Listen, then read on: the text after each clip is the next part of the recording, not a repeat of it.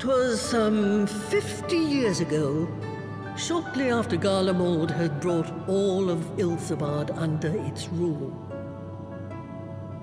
Faced with a threat of invasion, the people of Sharlayan scrambled about for a means to resist the Empire.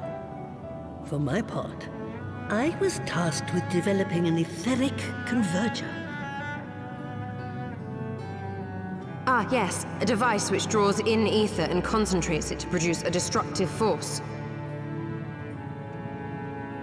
But as my research neared its end, it was denounced by the Forum, who claimed that my device was more likely to destroy us than our enemies. After that, they and I had a little falling out, and I decided to seal away all the fruits of my research, lest the dunder-headed ingrates reap any benefit. Ha! Petty, I know, but gods, it was satisfying. Do mine ears deceive? 'Twas you, was it not, who was so fond of saying that all knowledge exists to advance mankind? That how it is used depends on us? I don't remember. Perhaps. All right, yes.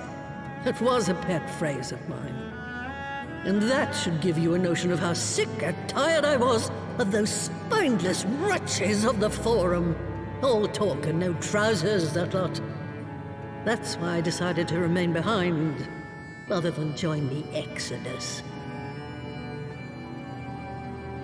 You may have had your disagreements with my grandfather, but upon that point, your minds were as one. With respect, Master, the fruits of your research should not be left to spoil. Will you share with us the secrets of the aetheric converger? Aye, I will. All the information you need is contained in a tome I wrote on the subject. But you'll have to fetch it from the forbidden section of the Great Library. Ah, you were not exaggerating when you said that you had sealed it away. Though the city is abandoned, the library's guardians are all but certain to remain. We must needs cut a path through them. Come, let us away.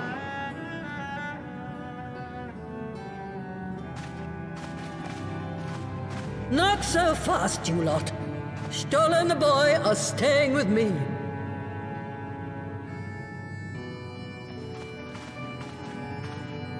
I need help to make new sentinels to replace the old ones you walloped. They'll be board and lodging, don't you worry. But know that you'll have to work for them. Hard. I'll have no sluggards in my house.